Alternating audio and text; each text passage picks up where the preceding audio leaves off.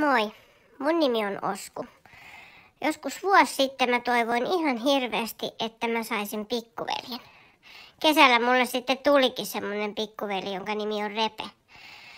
Kukaan ei muistanut kertoa mulle, että pikkuveljet tarkoittaa sitä, että tämmönen kolmevuotias iso poika joutuu olemaan sen lapsen piikana. Repen ehdotus on, että mami jäisi kotiin hoitovapaalle siihen asti, kun se on kolmevuotias. Mutta mulla olisi nyt siihen oma vastaehdotus. Mun mielestä pikkuvelille pitää järjestää päiväkotipaikka. Se meni silleen, että mami veisi aamulla repen päiväkotiin. Ja mä voisin sitten koodata kaikille mun tyttöystäville ja muille pimuille, että käty.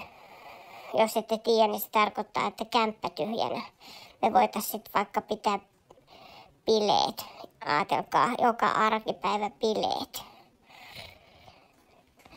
Repe on melkein yhtä iso kuin minäkin kooltaan.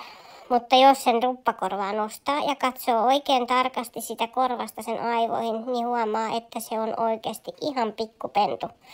Se ryöstää mun lelut ja se on halu aina olla mamin kainalossa nukkumassa ja mä joudun sitten vähän väistämään, mutta ei se oikeastaan haittaa. Pikkuveli on kuitenkin mulle tosi tärkeä. Mutta mitä mieltä olette toverit tuosta mun ehdotuksesta? Päiväkoti pikkuvelille. Heippa!